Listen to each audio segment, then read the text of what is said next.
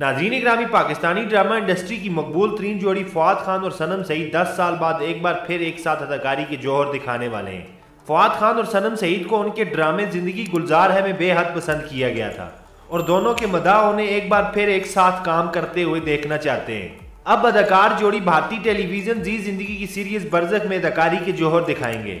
आसम अबासी की डायरेक्शन में बनने वाली इस वेब सीरीज़ को वकास हसन हसान और शाहजहा केजरीवाल ने प्रोड्यूस किया है। इस सीरीज़ की रिलीज़ की तारीख ताल सामने नहीं आई। अलबत् इसे फ्रांस में 17 से 24 मार्च तक मुनद होने वाले मीनिया फेस्टिवल में पेश किया जाएगा। अमेरिकी जरीदे वराइटी के मुताबिक बरजक को बेहतरीन सीरीज़, बेहतरीन डायरेक्शन और बेहतरीन अदाकारी जैसे अवार्ड के लिए नामजद कर लिया गया है। यह सीरीज़ मैनिया फेस्टिवल के लिए मुंतब होने वाली वाद जनूबी एशियाई सीरीज़ है। अमेरिकी जरीदे वराइटी के मुताबिक सीरीज़ की कहानी एक उम्र रसीदा शख्स के खानदान के गिर्द घूमती है, जो मोहब्बत की तलाश में है। इस सीरीज़ में बाप और बेटे के दरमियान नस्ल दर नस्ल चले आने वाले मामला को दिखाया जाएगा। सीरीज़ की शूटिंग पाकिस्तान के मकबूल सियाती मकाम हंजा और कराची शहर में की गई है।